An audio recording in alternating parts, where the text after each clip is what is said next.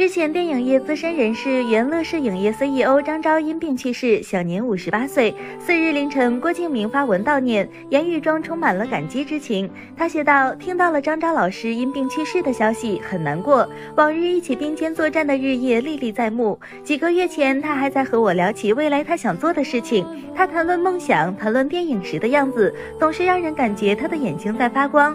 他是我第一部电影的出品人，一路上看着我成长，在背后。”支支持着我，从我二十几岁到我三十几岁，夜深了，人的情绪更脆弱。此刻我很难过，但我想我和很多人都会一直记住你曾经带给我们的，也将留给我们的力量，那是对电影梦想的无限执着和赤诚。张昭总一路走好。在此则动态下方的评论区里，有网友就此前郭敬明为抄袭道歉并答应成立反剽窃基金一事发问：什么时候把成立反剽窃基金的钱打给庄宇老师啊？郭敬明正面回应表示，一月下旬的时候已经把初步方案和截至目前为止收集到的明细给到庄宇老师。庄宇老师律师表示，目前不方便用私人账户接收款项，等基金会建立之后，将款项直接打入基金会账户即可。